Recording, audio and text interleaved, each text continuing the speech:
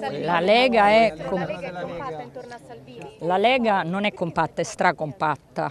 Eh, la Lega, guardi, eh, tutto si può dire alla Lega tranne che nella Lega ci siano fratture. Ho letto dei retroscena addirittura, ho letto che si attribuiscono a me posizioni che non ho mai espresso. Quello che vi voglio dire è questo. Fa comodo a tutti dire che le cose vanno bene, magari fa comodo a tutti portare avanti governi tanto per stare ciascuno seduto nella poltrona. Se si fa una scelta di dire così le cose non vanno, è ovvio che è una scelta fatta esclusivamente nell'interesse degli italiani, ma a chi fa comodo una situazione di questo genere? Quindi non è una scelta di comodità, è una scelta di responsabilità. Perché i ministri non non sono sarebbe stato più semplice. Scusi.